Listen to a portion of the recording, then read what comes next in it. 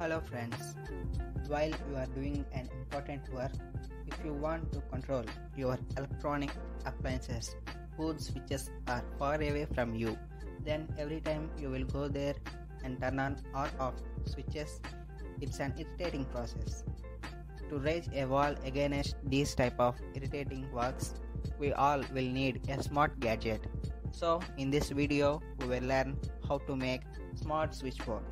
Hardware components required for this project are Node MCU board or ESP12V module, 4 channel relay board, jumper wires, switches and sockets, 8 way gang box. Software required for this project are Arduino IDE software, Sinric account, Alexa app, Alexa device. I have given links for all the products, the complete code for this project, the circuit diagram, the details of software setup, Sinric account setup, the process of complete coding, and finally Alexa device setup with the smart switchboard that we have made in the document that I have provided. Our smart switchboard looks like this. Now coming to its features, you can control it in three ways. 1. With your voice commands just like turn on switch 1 to turn on first switch. 2. From your Alexa app in devices section from anywhere in the world if internet connection is present. 3. Whether the internet connection is alive or not, it doesn't matter. You can control the appliances with switches on the smart switchboard at any time. Let us see the way of operation of this smart switchboard. These are the connections, how you should do. Please look at these connections. I have provided the circuit diagram code in the document that I have given. Now let us see how it works when I say Alexa, turn on all switches. Okay. Turn off all switches.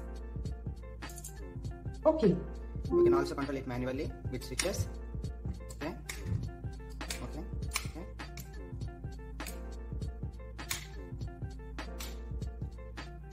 Alexa, turn on TV.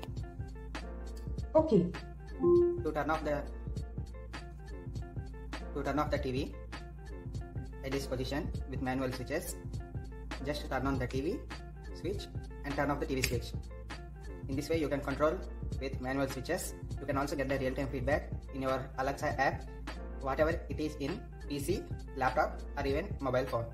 You can control it from anywhere on the app if your internet connection is alive. If internet connection is not provided, then you can control it with manual switches, which are provided on the switchboard. I have used NodeMCU CP2102 board here.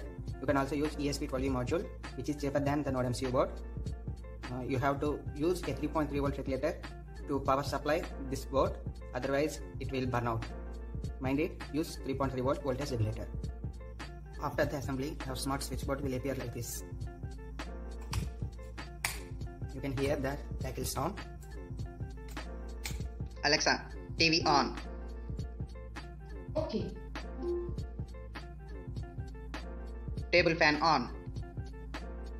Okay. Table fan off. Okay. Home theater on. Okay. Turn off all switches. Okay. The smart switchboard. Now I am turning on the switches manually. You can see. Uh, now with I am turning off the switch. All switches works. You can see the devices get it on.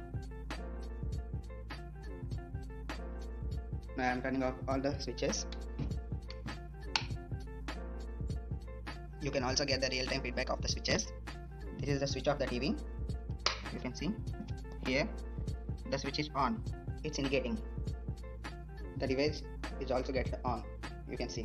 So I am turning off the switch. You can see the real-time feedback that the switch is off. Okay.